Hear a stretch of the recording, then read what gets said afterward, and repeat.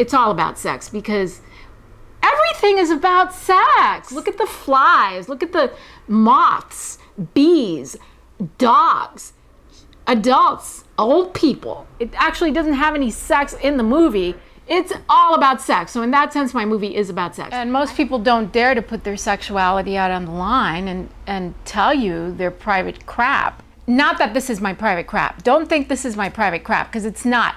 It's imagination taken like a million zillion times. And whatever you do, don't think this is me.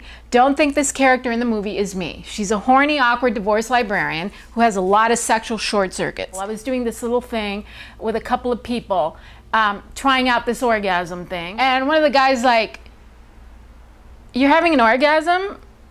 It looks more like a horror movie. Sex can be this muddy, messy, short circuiting maze. And sometimes it can be phenomenal, right? But most of the time, for most of us, it's kind of haywire. And it's rare that we actually find that perfect person that we're in such incredible rhythm with. And it's just like phenomenal. And if you do more power to you, but this is not that movie. Definitely not. You will be disappointed that there's no sex, but you won't care because you'll be laughing your pants off so much. It is not porn.